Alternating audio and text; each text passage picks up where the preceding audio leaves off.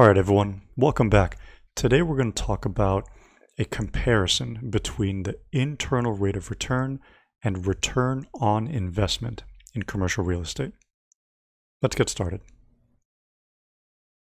So, this agenda is going to be short and sweet. We're really just going to compare these two return metrics. We're going to talk about pros and cons. We're going to talk about differences in calculation or application. And, and I think it's going to become at the end of the day, really just a side by side comparison so you can see maybe why it could be more effective to use one or the other in different circumstances. So, just to make sure that we're all on the same page, we're talking about internal rate of return and return on investment. And I've taken some time to identify the four key, maybe points of difference or similarity between these two metrics. So, I think First, it's probably best to think about them in terms of how they account for time. Now, both of these are cumulative return measures, so they'll take a look at everything from the first dollar you invested through the last dollar you received. So maybe when I first purchased the property, all the way through when I sell the property. So they are both cumulative measures. But how they account for time, how they weight time is going to be very different. Now, I think an important distinction here is also going to be how they define total investment. So in IRR, it has to. That's the way that the calculation and the math works. In ROI, unfortunately, it depends. And so we'll explore that. Thankfully, both do account for leverage. So they are levered cash flows, or they, they do account for the application of borrowing and debt. So let's dive into each one of these individually so we can see how they compare and contrast. Where I think we'll spend most of our time, however, is talking about these top two because obviously that's how they're different. So, for some basics, the math I think is important, believe it or not. So, try to stick with me here for a minute if some of these Greek symbols feels a little uncomfortable. So, internal rate of return is really at its core the discount rate. That R right there, the discount rate that makes the left hand side, net present value, equal to zero effectively. So the sum of all the discounted cash flows from time period zero through time period n. Now, that distinction is important because we are talking about discounting. We're talking about the effect that time has on e- the receipt or the payment of each one of these cash flows. Return on investment, on the other hand, doesn't include any of that compounding or discounting. This just simply says let's take all cash flows, add them, and then divide them by what I invested. Now, it is that last asterisk, the definition of investment, where this gets a little more complicated. So if we were to set this up in Excel so you don't have to worry about either longhand math or understanding the formula itself to a degree, and quick sidebar, I'm not a big proponent of not understanding the formula, but for the sake of the video, I think we can stick to Excel. Then we'll say IRR open parentheses and select all the cash flows. Now return on investment is a little different where we'll just say add all cash flows and divide it by that initial investment. Now, some folks will define investment differently. Some will say only the initial investment. Others will say all cumulative investments. So any time you needed to contribute dollars or spend money, then that may also be considered investment. Depending on whether it's a conservative or aggressive definition of investment, that will obviously change the denominator and therefore how ROI is ultimately calculated. So, before I digress too much further, I think it's important to kind of take apart each one of these piece by piece. So, let's talk about how IRR accounts for time and ROI doesn't. So, here we have three different investments A, B, and C. Each one of them have a different horizon, a two-year, a four-year, and a six-year. Now, if you take a look at the IRR column, you'll notice that investment A, B, and C have different IRRs.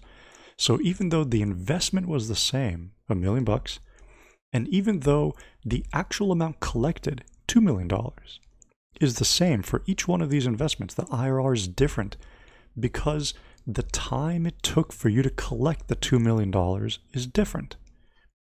If I can collect $2 million, double my investment, if I can collect that earlier, my IRR is higher than if I had to wait longer. So you'll notice that IRR is different for each one of these investments, but ROI isn't. Because again, keep in mind, return on investment, all it does is add all cash flows and divide it by the investment. It doesn't care when those cash flows are collected, it just cares of the nominal amount. IRR, however, accounts for the time. Now, another way to think about this is how does it account for investment? And in particular, the definition of what investment really means. So, here let's take a look at another example. Let's say you invest $500,000, but then a couple years later, you have to spend a little more money. ROI, depending on who you ask, unfortunately, ROI, return on investment, may not include the additional $250,000 in the denominator, in the definition of investment.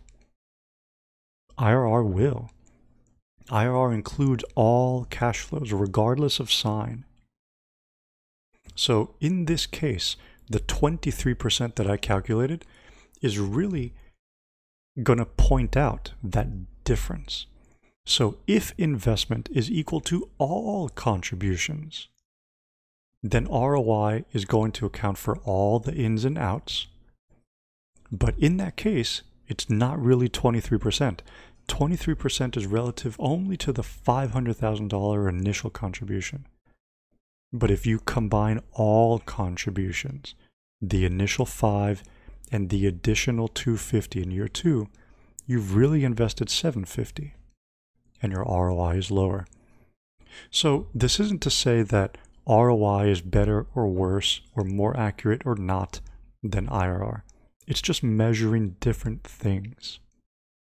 So I think my recommendation is just have a clear understanding of what it is that you're trying to measure. And then at that point, you can decide how you want to apply the calculation and how you want to interpret and use it. Now, I think from here, let's just finish off the table, even though both of them are the same.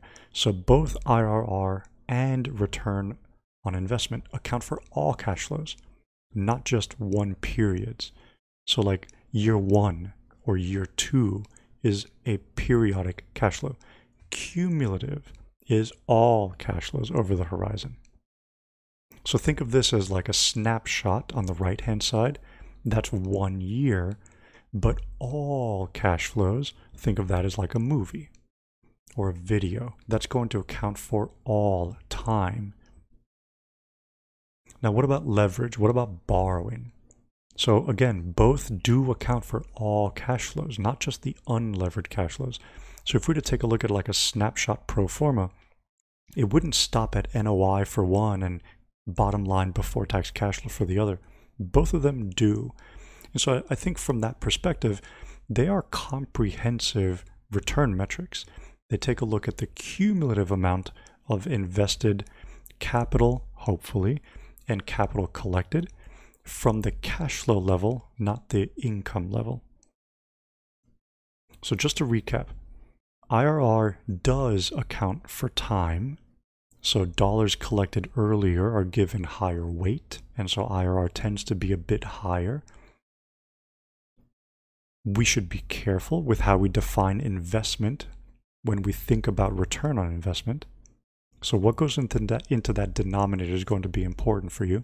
Is it cumulative dollars invested or just the initial? Now, the next two points of comparison, they're both the similar or the same. They both account for all cash flows through time, or at least should. And they also both account for leverage, the application of debt or borrowing. So, just to recap, I think whenever we take a look at different kinds of return metrics, it's important to understand obviously their definition, obviously how they're calculated. But I think as we compare and contrast them, we can start to get a bit smarter about which ones to apply in different circumstances or based on different strategies or priorities. So I hope that this comparison helps clear up some of the differences, pros or cons between IRR and ROI. Thanks again. I'll talk to you guys soon. Take care.